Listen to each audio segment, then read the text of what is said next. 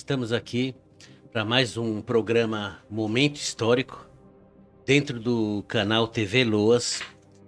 Toda quinta-feira a gente apresenta aqui um trechinho curto sobre a história de Mongaguá e alguma peculiaridade sobre o passado da nossa cidade.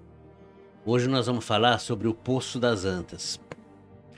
Bom, Poço das Antas ou Pouso das Antas, esse nome aí, muito antigo da época aqui da, dos primeiros colonos que foram chegando aqui na cidade. O porquê desse nome, né?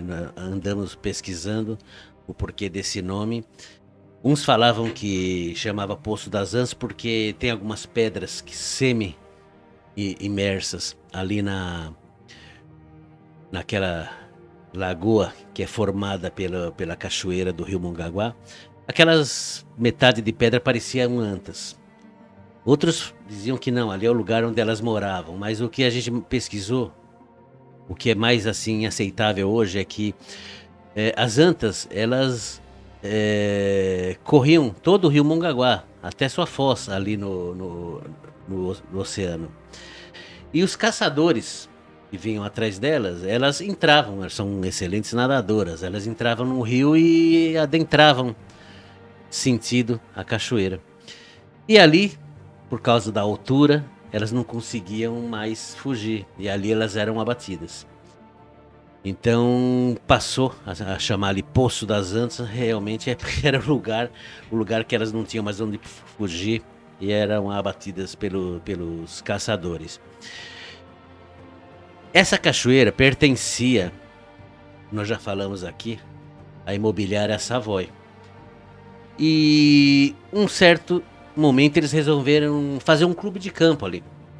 Que ia incluir, inclusive, essa cachoeira ali, é, aquela piscina que é formada naturalmente é, no final da cachoeira.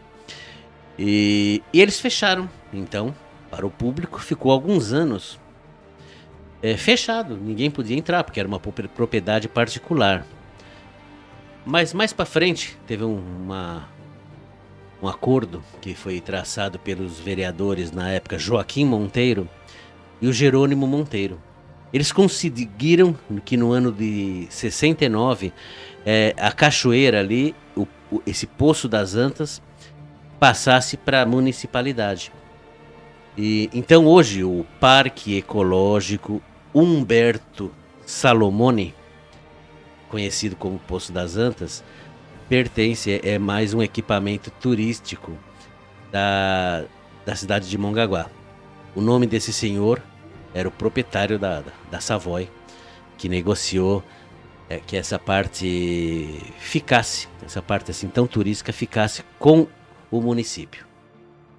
Na próxima quinta-feira, é, nós vamos mais um trechinho sobre a história de Mongaguá.